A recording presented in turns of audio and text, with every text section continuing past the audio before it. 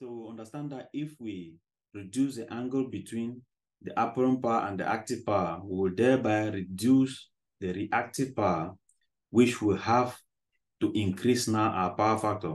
So the, the, the, the whole idea about all this now is for us to be able to increase the power factor in such a way that we will have it nearly equal to one.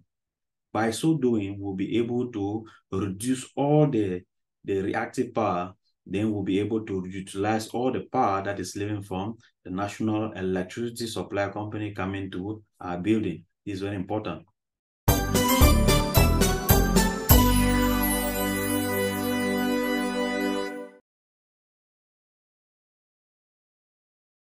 Electricity Company. So we'll be using a capacitor bank, like I did mention initially, to improve the power factor. So one famous factor that decreasing power factor is the lagging current present due to inductive loads. So when we have inductive load, we'll thereby be having um, power uh, current that will be lagging, thereby reducing the power factor, which we are not able to utilize all the amount of power that is given from the uh, uh, national electricity or the national grid company coming to our building. In order to improve the power factor, capacitors are installed in parallel to the equipment running on low power factor or to the supplier. The leading current drawn by such capacitors corrects the lagging reactive component of the load current. Also reduces or reducing the phase difference between current and voltage.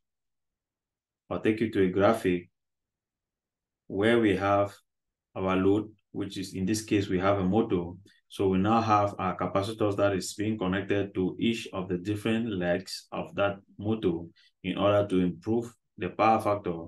Thereby, be, we be able now to utilize all the power that is leaving from the national supply company coming to our electric motor. Where a capacitor is installed for power factor correction, it must be provided with a means of or a means for its prompt automatic discharge, discharge immediately the power the supply is disconnected. This requirement may or shall not apply for or to small capacitor. The next partner is going to be an example. So I'm going to drive you now through an example so we get to calculate and then to see how to um, select an appropriate um, capacitor, which will be able to improve our power factor, thereby we able to utilize all the power. The Washing Makoge Enterprises, please do like, share, subscribe, and keep sharing, as well as turn on the notification button so that anytime we upload a new video, you're going to be notified. And thanks for watching and keep watching. That is living from the National Supply Company coming to our load. An example, a three-phase 5 kilowatts inductive load or inductive motor has a power factor of 0.75 lagging. What size of capacitor in kilovolt ampere reactive is required to improve the power factor to 0.90? So in this case now, you notice that we have this load, and which is three phase.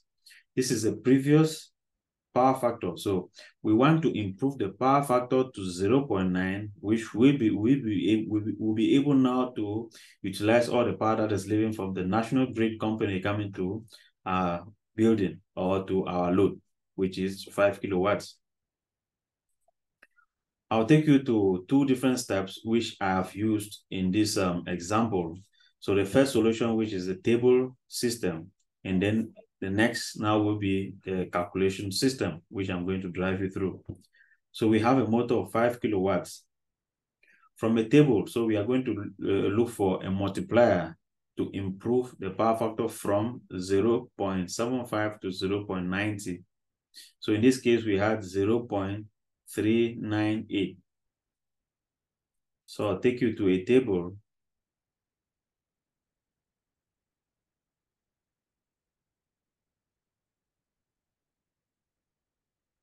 So from 0 0.75 to 0 0.90, so we had a multiplier of 0.398. So let me check again if it is loaded.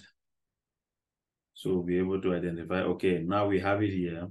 So we have um, a power factor of 0.75. So we need to increase it to 0.90.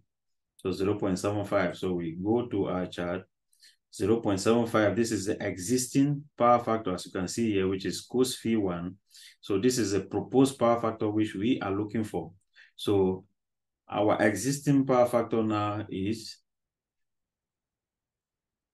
0.75. So we move now to our chart to look for 0.75.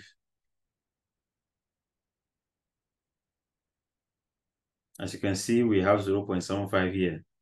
So now we want to look now for our existing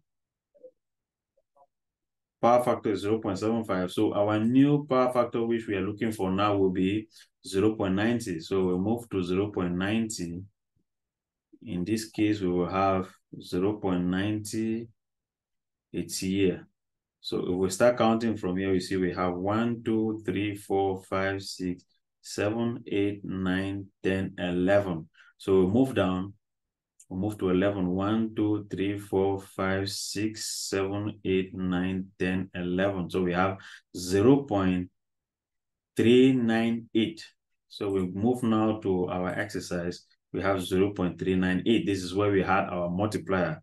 So required capacitor in kilovolt ampere reactive to improve power factor from 0 0.75 to 0 0.90 required capacitor, which is in kilovolt ampere reactive, which is equal to kilowatts, the active power multiplied by the multiplier of 0.75 and 0.90, which is equal to 5 kilowatts multiplied by 0.398. So we had a value of 1.99 kilovolt ampere reactive. So this is the the amount which is required, or if we are going to purchase now the capacitor bank, we are going to get 1.99 kilovolt ampere reactive capacitor bank that will be used to improve our power factor from 0.75 to 0.90 in order for us to utilize all the amount of power that is leaving from the national supply company coming to our, our load.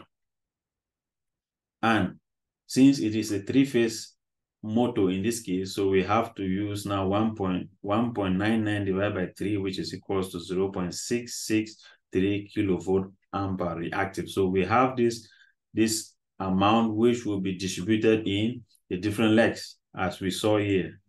So we'll distribute all the different amounts, put the first capacitor here, which is 0, 0 0.663, 0 0.663 here as well as 0 0.663 here in order to reduce or improve the power factor to 0 0.90. So we move now to the second solution, which is a calculation method. Our motor is 5 kilo, kilowatts. Original power factor, which is uh, cos phi 1, is equal to 0 0.75. The final power factor, which is cos phi 2, which is equal to 0 0.90. So we will now look for our cos phi 1 and cos phi 2. So since we have cos phi 1, which is equal to 0 0.75, so to look for this uh, theta 1 or phi 1, we'll now have cos inverse of 0 0.75. So this is going to, we're going to remove this here, is going to be a cos inverse of 0 0.75, as you can see here now. So which is equal to 41 degree, which is equal to 41 degree or 41.41 degrees. So tan theta now will be equal to the tan of this angle, which is here, which is equal to 0 0.8819. So look for theta 2, the same procedure we're going to use, and then we had this result or this value. So now we move to a required capacitor, which is in kilovolt ampere reactive to improve power factor from 0.75 to 0.90. So required capacitor in kilovolt ampere reactive, which is equal to, this is the formula that we are going to be using, which is the power, which is the active power, into tan theta 1 minus tan theta 2. So which is equals to, we put fill in all the different variables and we had the same result that we had previously when we use the table system. So we still use the same way, 1.99 divided by 3 to distribute them in the different legs. So actually, this is um, just to give us a highlight on how to do our calculations to select the appropriate size of capacitor that we will be using to improve our power factor. This is a capacitor bank, as you can see. And then also, we'll be able to understand all that so that when we are doing our calculations, we understand as well the different types of loads that are used in our building and to know what are the loads that we have. If we have inductive load, by so doing, we'll, be, we'll, we'll have to look for a way to improve the power factor because the amount of power that is leaving from the supply or to, from our utility company coming to our building or coming to our load will not be able to utilize all the amount of power as we saw in the different calculations or in our explanations, which is very important. So um, this video is um, just to give us a highlight, a guide as well to understand what is power factor and also to um, improve the power factor so that we'll be able to utilize the amount of power that is leaving from the utility supply company coming to our building or coming to our load. Until then, you're watching Makoge Enterprises.